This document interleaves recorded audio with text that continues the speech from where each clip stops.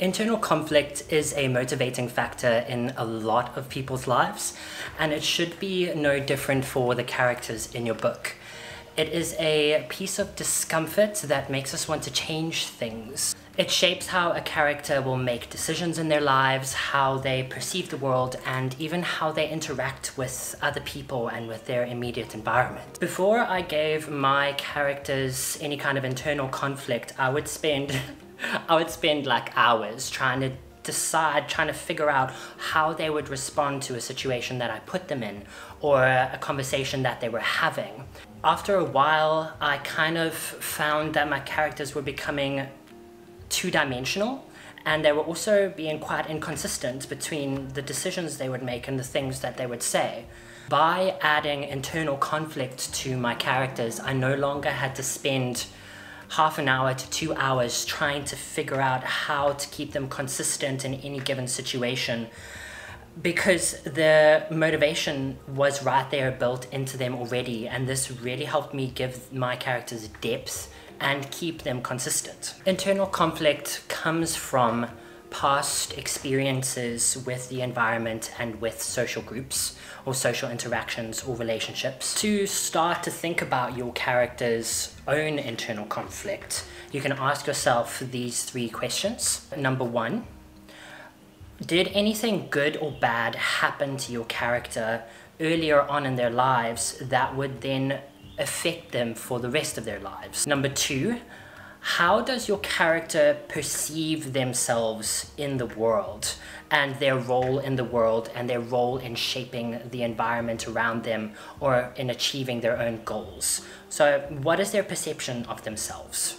And number three, something that I find very, very useful that comes to plotting as well, does the character is does the character see themselves as proactive and in control? Or do or are they a reactive character that is always on the back foot? Or doesn't have direct control over what is happening to them? Or are they somewhere in between on that range? I have a character called galbraith and he is a 15 year old noble born son and he is the youngest of he is the youngest boy in his family. He's got two older brothers a father uncles two grandfathers. And he his whole life he's been left behind left out by the older men in his in his family. And this has led him to a feeling of constant self-victimization of victimhood. He perceives himself as hard done by he which makes him which makes him impulsive it makes him make stupid decisions and bad things happen to him because of this. Uh, when he makes a stupid decision, it often gets him into a lot of trouble, even if that stupid decision was based on the best intentions. He has a nobleman, a noble education, which in the class system of my world is one of the better educations, and that has given him the ability, the ability to criti- for critical thinking.